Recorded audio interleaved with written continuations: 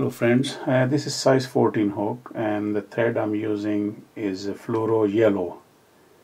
Uh, this one is UTC 70 and very simple to tie and I'm going to explain you all the material. Well, it's only two material. So just start below the eye. Make sure you use touch turn.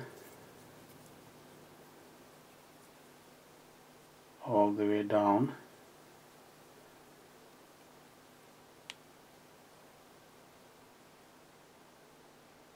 And here you just stop and spin your bobbin clockwise to make this thread tight like a rope.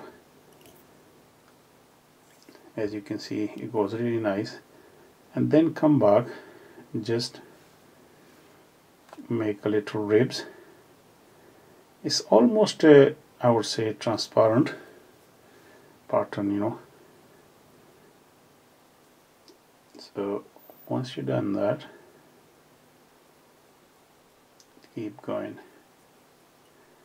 For the cheeks uh, I'm using this is a red Spanflex this makes a very nice color combination. Red is always works really well. Great hot spot catch it underneath secure this properly and then bring like usually I do both end either side of the hook and keep it downward.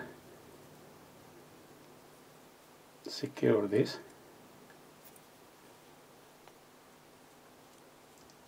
And form the head.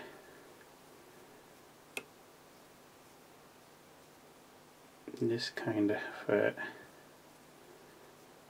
make sure it's a nice and smooth head. And that's it. And bring these two forward. And just lock them both sides secure them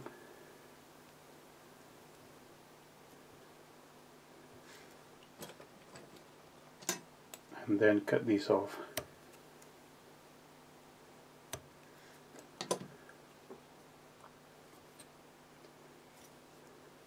I'm going to make a nice head so hide all this.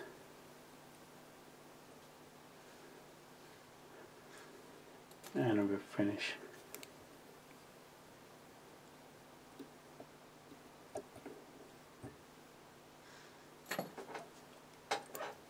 Very simple and very effective pattern works really well in spring and summer. The color is amazing.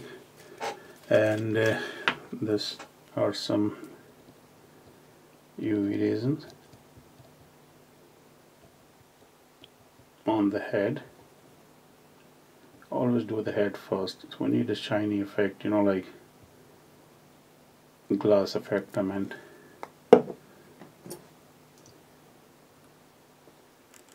and then go on the body.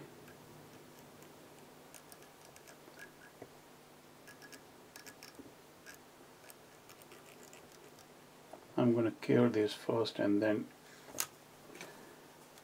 do it after once it's ready.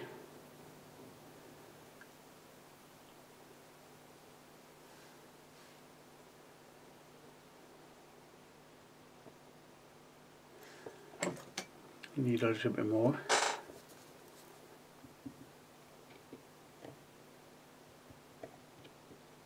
said, you know I mean, if you want to make it look nice then you can add more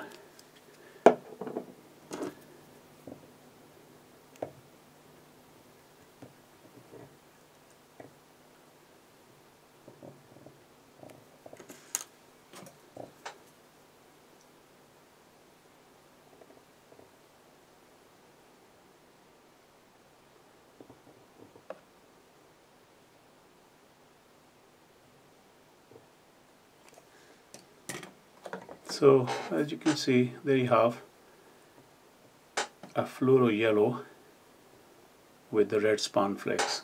Cheeks really good pattern you know you can basically size uh, tie the tie this on a size 14 16 and 18 works really well. And uh, hope you enjoy this video. Thanks for watching